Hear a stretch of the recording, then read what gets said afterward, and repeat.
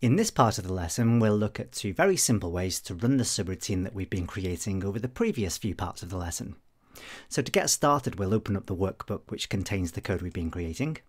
And as we already enabled the content in the previous lesson, this is now a trusted document.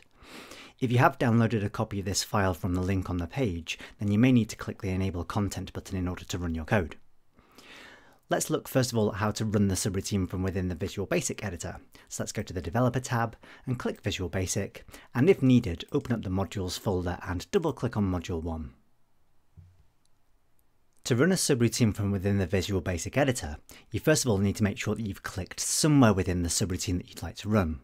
Bear in mind that in future you'll have many different subroutines in the same module, so it's important to select the one that you actually want to run. Having done this, you've got several choices for how to launch it. The simplest by far is to just click on the little green triangle button up on the toolbar here. You'll notice that if you hover the mouse cursor over that button, it shows you the keyboard shortcut that you can press, which is simply the F5 key. Alternatively, you can head to the Run menu and choose the same option from there, Run Sub User Form with the same keyboard shortcut listed, and that's the option I'm going to choose.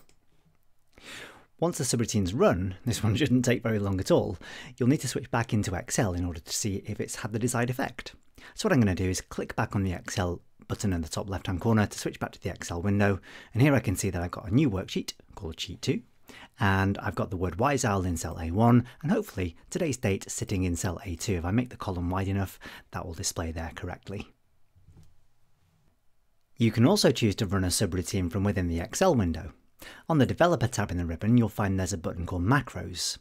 Macro is simply the name given in Excel to a subroutine.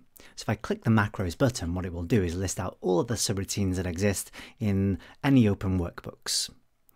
All I need to do in order to run it is either double click on the name in the list or click on it once and click the Run button.